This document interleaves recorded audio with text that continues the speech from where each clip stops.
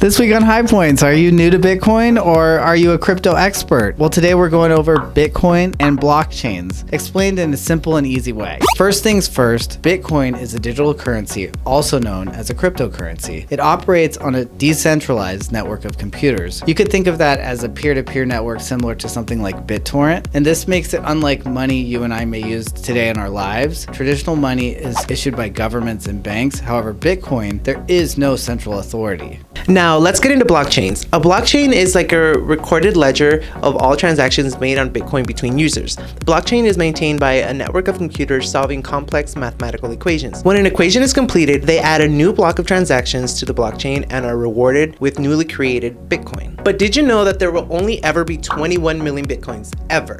Because of the limited supply, it makes it more valuable. Kind of like gold, we can't make more of it, so then there's always a limited supply. And the more that people become interested in it, the more more it can rise, but that can also be volatile because that means the prices can drop. For example, Bitcoin has jumped and dropped in value by the tens of thousands.